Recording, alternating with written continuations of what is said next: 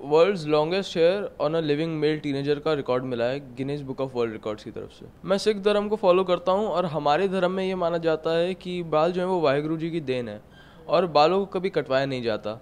तो बचपन से ही मैं अपने बाल बढ़ा रहा हूँ और मेरे बाल पे आज तक कभी कैंची नहीं लगी मेरी उम्र अभी पंद्रह साल है और पंद्रह साल से ही मैंने अभी तक बाल नहीं कटवाए तो मेरे पंद्रह साल तक पूरे बाल बढ़ते ही रहे हैं। और इन पंद्रह सालों में भी बहुत ध्यान रखना पड़ा है बहुत केयर करनी पड़ी है बालों की, तब जाके इस हाइट तक पहुँचे। परेशानियाँ आती हैं, परेशानियाँ बचपन में जैसे लोग मेरे को चिढ़ाया करते थे मेरे बालों की वजह से।